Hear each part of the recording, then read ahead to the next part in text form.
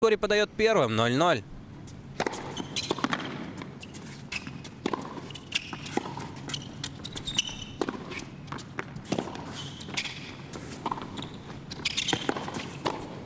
Ну что ж, хорошая атака японцев.